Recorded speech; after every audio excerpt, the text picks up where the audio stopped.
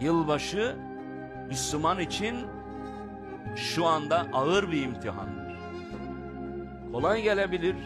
Mesuliyetini duymayan bir insan için bunun nasıl bir tehlike olduğunu, ahirette başımıza nasıl bir bela açacağını bilmeyen için bu basit gibi görünebilir. Ben siz kardeşlerimi uyarmak zorundayım.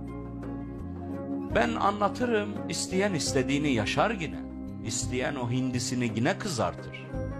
O, o kendi bileceği bir şey. Ama ben diyorum ki bir Müslüman Hristiyan bir adeti, Hristiyanların yaptığı, özellikle yaptığı bir şeyi onlar yapıyor, biz de yapalım ne olacak diye yaparsa o onların dininden olarak mezardan kalkar.